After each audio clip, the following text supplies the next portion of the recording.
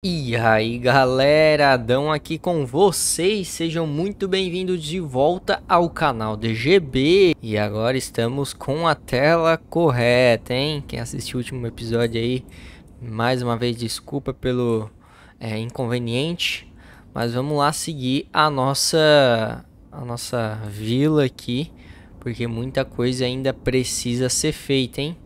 E eu tô vendo aqui que a gente tem pessoas procurando por serviço, hein?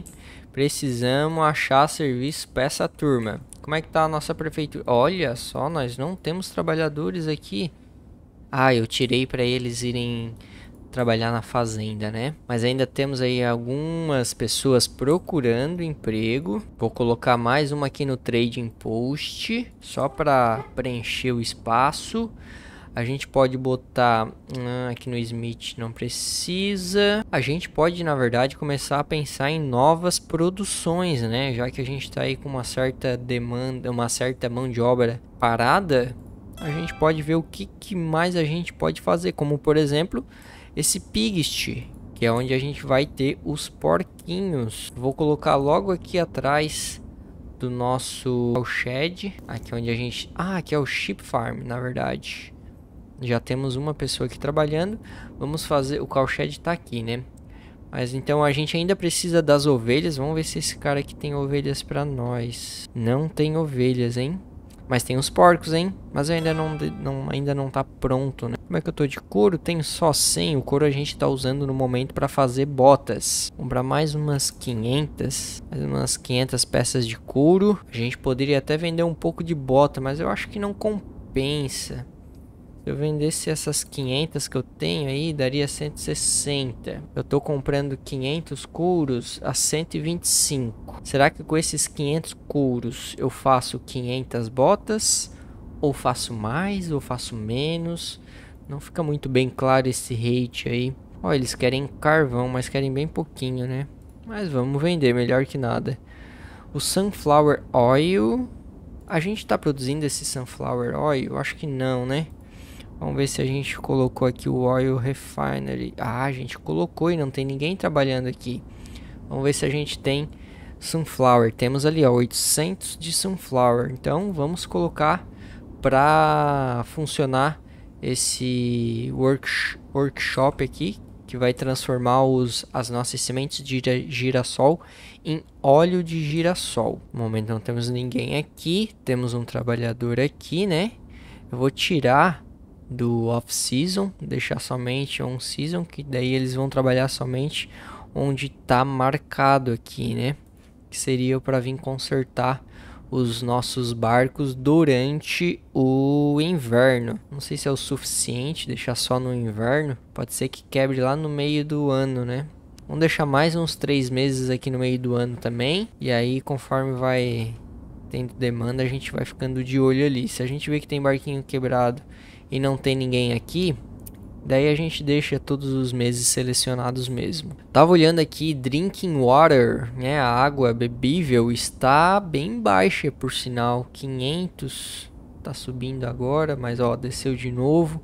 Nós precisamos urgente aí de mais poços. A gente fez uma expansão muito grande, muito forte de residências e acabou não acompanhando a parte de captação de água. Vou colocar mais um, dois e três aqui perto dos animais, né? Que os nossos animais também precisam de, de água. Então é interessante a gente ter aqui perto também. Eu acho que eu vou botar uma plataforma dessa, ó, porque nessa plataforma eles usam a água para livestock, que são os nossos animais, né? Então é interessante ter um aqui que já fica bem próximo da nossa criação de animais. Começamos a ter vagas de trabalho em aberto. Isso é bom porque a gente está com bastante casa sendo construída aqui embaixo. Então isso vai atrair aí novos moradores para nossa vila. E isso é bom para a gente estar tá incrementando a nossa mão de obra para quando a gente precisar, né? Ó, chegou um comerciante aqui de bala, Balaclia. Vamos ver o que eles têm. Olha só, as nossas ovelhas estão aguardadas. A gente tem comida suficiente, a gente a gente usa esse rei rei aqui, né? Temos 500 armazenados já, então vamos comprar, vamos comprar algumas ovelhas. Temos chip e temos chip Hans. O que seria esse chip Hans? Pelo que eu entendi aqui, esse Hans seria o carneiro, eu acho que é o macho, né? Então temos aqui a fêmea e temos o macho. Vamos pegar pelo menos um ou dois machos pegar um. E algumas fêmeas, não sei se 8, 315, a gente tem 1800. Vamos pegar essas 10 fêmeas aí e dois machos, vai. Que daí, ah, mas daí é muita grana, né? Ah, mas vai. É o mesmo preço para os dois. Vamos. 12 ovelhinhas, a gente já começa então uma boa criação. A gente pode ter até 30 aqui. A gente deixou o fallow field para eles poderem pastarem, né? Durante o, a época fora do inverno. E a gente pode botar um pasto também. Vamos criar um pasto aqui para caso esteja os todos os, os campos ocupados. Pelo menos eles têm um pastinho, não ficam ali dentro comendo a nossa o nosso nosso rei. Estamos aí com uma certa sobra de mão de obra, de vez em quando sobra 5, volta para sobrando 3. A gente tem bastante casas aqui já sendo preparadas, né, para atrair novos imigrantes. Eu acho que a gente pode novamente né, ele já tá ali o pig. Eu vou botar esse, ah, na verdade tá aqui o pig, eu vou botar para frente. Esses poços eu também vou colocar para frente, assim como a plataforma são coisas rápidas de fazer. Como é que tá a nossa madeira? Temos 10 mil firewood, 17 mil wood. Eu tenho algum armazenamento de wood? Tenho aqui. Tenho 9 mil wood aqui. Eles estão trazendo mais do que deveriam, né? Era pra ter só 8. Mas eles trazem e depois eles é, já tiram, né? Mas eu acho que a gente tá, tá de boa com a questão de wood. Eu ia colocar um outro warehouse pra gente estar tá armazenamento só, armazenando só o, wood. Mas eu acho que tá tranquilo. Deixa eu ver se tem mais alguma coisa que a gente tá produzindo que pode botar aqui. Isso aqui não, não, não, não. Porque já estamos armazenando aqui. Isso mesmo. Já temos esse armazém aqui, então não precisa criar, é, adicionar ali no outro, né? Aqui a gente vai botar tudo que a gente está produzindo também, né? Aquelas outras coisas eu deixei aqui porque é mais perto da fazenda. E aí aqui a gente bota as outras coisas. Por exemplo, a gente vai ter o porquinho. Provavelmente a gente vai precisar de um açougue para estar tá batendo os porquinhos e aí vai ter carne para nós. As ovelhas é, provavelmente estão dando leite, ó, estão dando leite aqui. Uma coisa que a gente pode botar também, que dá para produzir com leite, eu acho que tanto de ovelha quanto das vacas dá para usar, é esse dairy aqui, ó, que produz butter, cheese e smetana. Butter é manteiga, né? Cheese é queijo e esse smetana, pelo que eu entendi aqui, esse smetana seria um creme azedo, eu acho que é tipo a nata. Aqui para nós seria nata. Produz manteiga, queijo e nata aqui. Vamos colocar. Aqui tá as nossas vaquinhas. A gente tem uma produção têxtil aqui. Acho que poderíamos colocar aqui no centro, mas aqui, ó. Aqui é um bom lugar, hein? Ah, o terreno tá desnivelado. Ah, mas aqui dá, ó. Vamos colocar aqui. Fica próximo dos animais, tá tudo certo. A gente pode trazer esse cheese, que é o queijo, butter, que é a manteiga, e smetana, que é tipo uma nata, eu acho, né? Vamos colocar aqui também mil de cada um. A gente vai acompanhando, ó. Sunflower Oil tá em 640. A nossa produçãozinha aqui de óleo tá rendendo, hein? Temos girassol ainda? Temos pouco girassol, hein? Será que esse ano tem colheita de girassol? Esse ano tem colheita de girassol. A gente colocou para ficar todos os anos com um campo tendo colheita e outro não, né? Então tá, eles já estão vindo aqui fazer todo o nosso plantio. Começou o mês de março. Então é sempre bem movimentado esse mês, né? O pessoal vem aí para cá para fazer as plantações março. Eu vou até deixar talvez abril aqui selecionado porque pode passar, hein? Temos ali as nossas vaquinhas pastando num campo que está em descanso. As nossas vacas estão aqui. Nós temos, olha só, temos bastante touro que nasceu. Tem cinco touros aqui. Tem mais dois aqui que são os mais velhinhos, né? Tem três anos. Eu acho que eu vou fazer o seguinte: eu vou transformar dois desses aqui, ó, em ox. Porque daí a gente pode começar a ter os nossos primeiros plug, os nossos primeiros arados, eu acho, né? Então fazer o seguinte, vou colocar aqui, ó, para suprir a fazenda com os alimentos para o Oaks, Ocean, Ocean. E aí vou pedir para o nosso carpinteiro criar um arado desse para a gente poder usar nas fazendas. Né? Esse pedido aqui vai vir para cá, para cá, é uma ordem. Tá na fila, provavelmente é aquilo lá mesmo. Temos uma mensagem de Balaclia de novo. Eles têm Iron, estamos tranquilo. Eles têm chip, ainda tem ovelha, mas a gente já tá com as nossas. Eles vendem Stone. A gente tem Stone nesse mapa. Isso aqui é Limestone. Isso aqui é Stone. A gente tem depósitos, alguns depósitos de pedra aqui ao redor do rio, pelo jeito. Ó, aqui tem mais alguns. Então a gente pode pegar essa pedra aí para começar a fazer algumas construções que necessitam de pedra. E para pegar essas pedras, a gente precisa do Stone Mining. Vou colocar Acho que é por aqui, porque tem mais é, minas de pedra para cá. Vou deixar por aqui, onde for possível. Porque a gente tem um número limitado de pedras nesse mapa. O que é ilimitado aqui para nós é isso aqui, ó. O limestone. Esse limestone a gente vai usar para outras coisas. Confesso que ainda não cheguei nessa parte, não sei muito bem como trabalhar o limestone. O nosso chiqueirinho já ficou pronto. Olha, já está pronto. Eu vou colocar alguém aqui para trabalhar. E ele come bem mais coisa, hein? A gente inclusive pode botar as, as paradinhas que a gente mesmo planta e colhe ali nas casas. Mas eu vou fazer o seguinte, eu vou tirar esse wheat aqui e esse barley. Vamos deixar um pouco de batata um pouco de buckwheat, esse linseed, umas beterraba, umas cenouras e umas uns repolho. Por quê que eu vou fazer isso?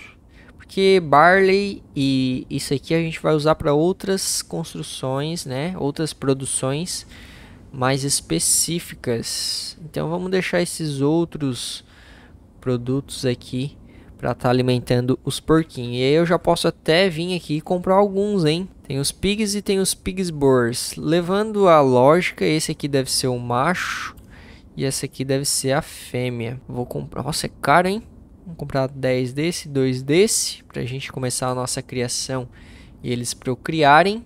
Estamos com 13 ovelhas e olha ali, ó, já tá produzindo esse wool. Esse wool aqui a gente usa aqui. Vamos colocar trabalhador. Eu vou botar aqui sazonal, porque nas épocas que não tá correndo água, nas épocas de inverno, a gente não consegue produzir aqui. Então vamos deixar somente na época que não é inverno. Vamos botar também para os laborers vir aqui quando necessário. Ó, já estamos produzindo broadcloth, hein, gente?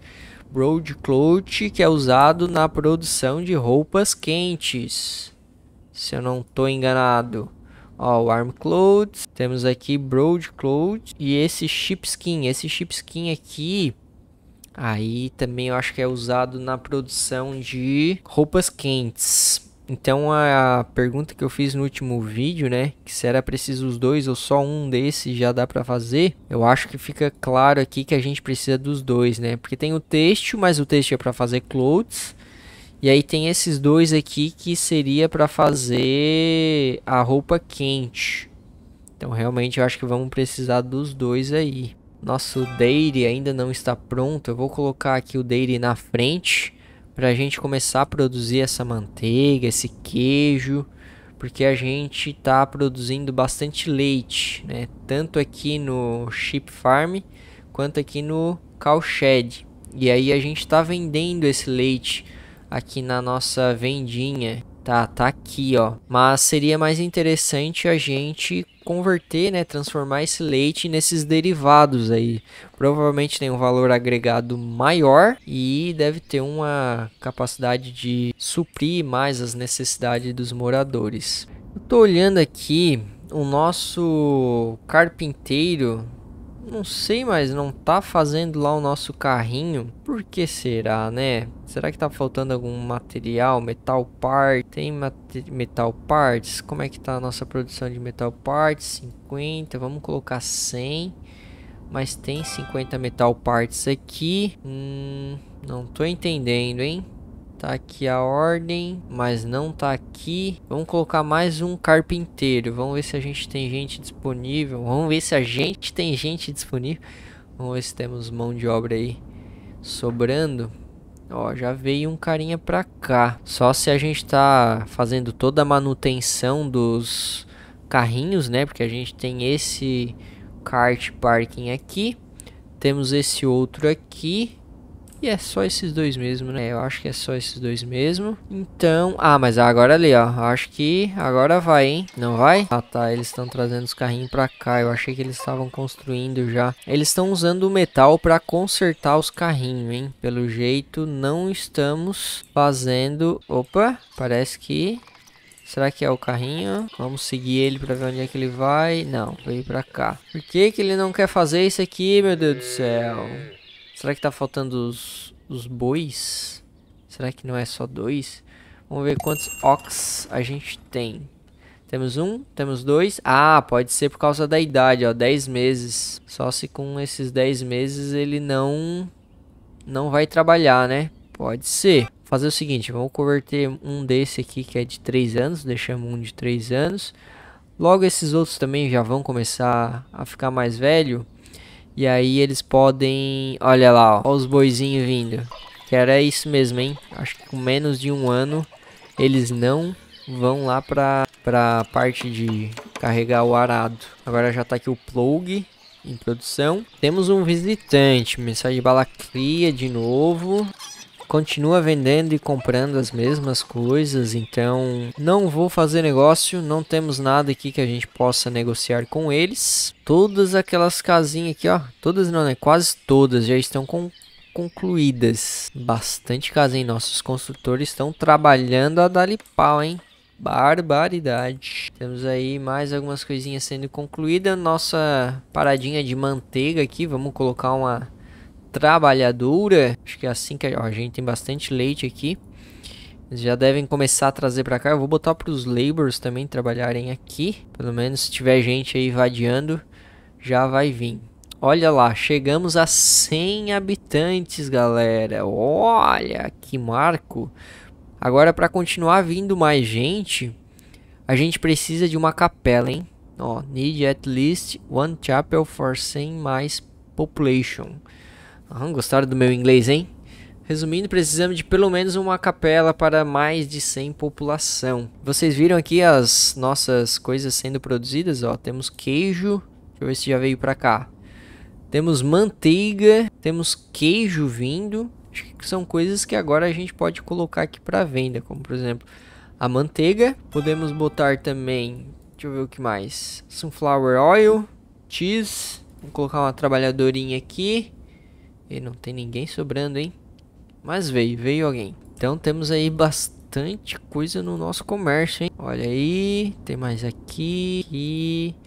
Bota, ovo, coisa arada, leite, batata. Tinha, tinha batata em outro lugar aqui também, não tinha? Ou é impressão minha? Não, é impressão minha. E agora as novas vendinhas estão, os novos itens das nossas lojas estão ali. Só não foi feito ainda esses metano aqui, né? Ó, único matéria-prima é milk. E aí eles vão produzindo essas coisas aqui pra nós.